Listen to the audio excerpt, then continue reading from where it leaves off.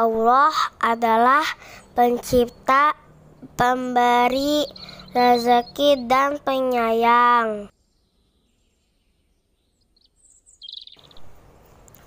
Bismillahirrahmanirrahim. Teman-teman, kita telah bercerita tentang siapakah Allah. Allah adalah Al-Khaliq. Ada Allah adalah pencipta kita. Selain Allah menciptakan kita, Allah juga Ar-Razak dan Ar-Razik.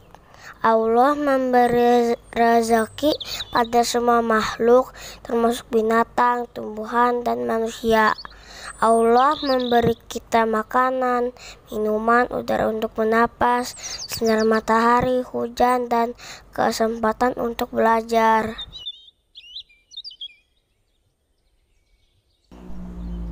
Inna allaha huwa rozaku Zukuwatil matin.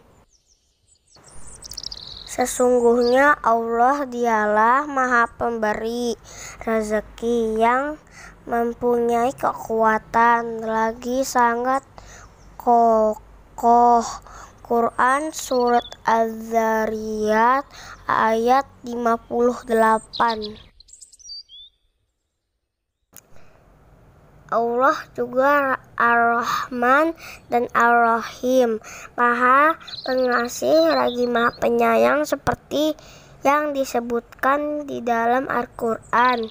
Surat Al-Fatihah ayat 3 Ar-Rahmanir-Rahim. Allah juga memerintahkan kita untuk saling menyayangi bagaimana cara kita menyayangi makhluk ciptaan Allah kita bisa memberi makan kucing liar, menyiram tanaman, menolong bersedekah, bersikap santun pada orang lain.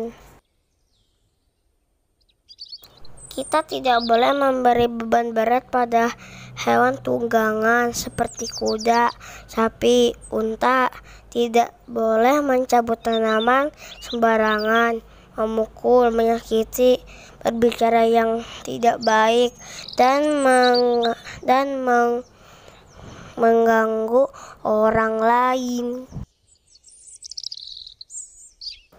Para pengasih dan penyayang dikasihi dan disayangi oleh Ar-Rahman rahmatilah yang ada di bumi. Niscaya kalian akan dirahmah, dirahmati oleh zat yang ada di langit.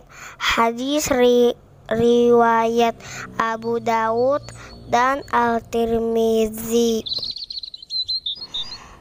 Teman-teman, yuk kita sayangi dan hormati orang tua, adik, saudara, teman, guru, dan semua makhluk ciptaan Allah di bumi ini. Barakallahu fikum.